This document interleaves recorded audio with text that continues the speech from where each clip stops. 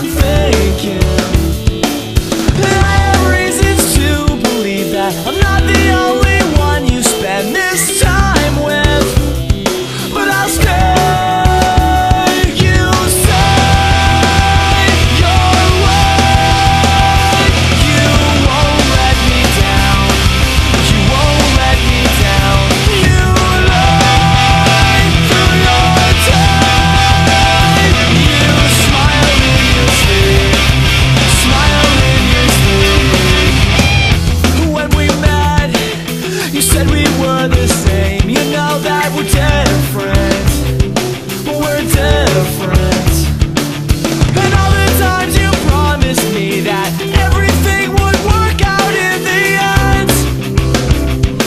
were gravely mistaken